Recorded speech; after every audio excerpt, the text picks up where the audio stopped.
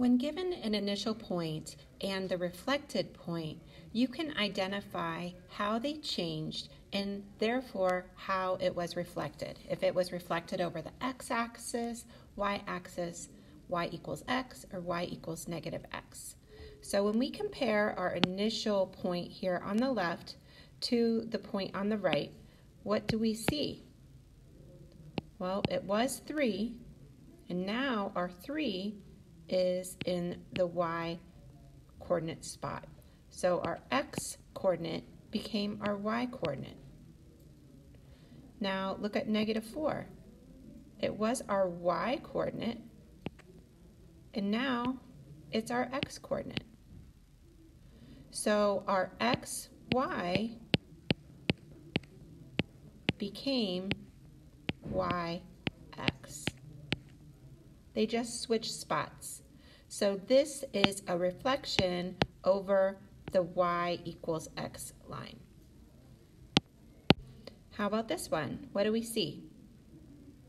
Well, I noticed the y coordinate stayed the same. It's negative 4, negative 4.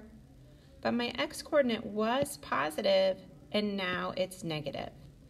So my xy changed in that my x coordinate was positive, now it's negative. So it's the opposite sign of my x coordinate. But my y coordinate stayed the same, stayed as y. So if we look at the rules here, we see that this point was reflected over the y-axis. How about this one? I noticed the 3 that was in my x spot is now in my y spot.